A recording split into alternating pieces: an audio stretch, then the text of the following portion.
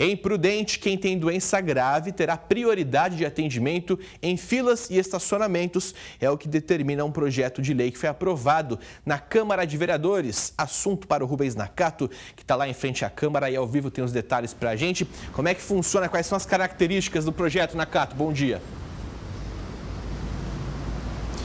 Bom dia, Casa Grande, bom dia a todos. Olha, o projeto estabelece, né, esse projeto de lei estabelece que pessoas que fazem tratamento como quimioterapia, também radioterapia, hemodiálise ou que estão utilizando bolsa de colostomia, por exemplo, teriam aí prioridade em filas de bancos, lotéricas, supermercados e também em estacionamentos, né, aqueles destinados para pessoas com deficiência ou idosos. Essas pessoas que fazem tratamentos de saúde também teriam direito aí prioridade nessas vagas de estacionamento, tanto em lugares privados quanto públicos, viu? Quanto coletivos aí que a gente costuma ver pelas ruas da cidade. Esse projeto de lei aprovado em primeira e segunda discussões aqui na Câmara estabelece, né, essa garantia aí para as pessoas que fazem os tratamentos de saúde, mas apenas as prioridades apenas durante o período de tratamento, viu?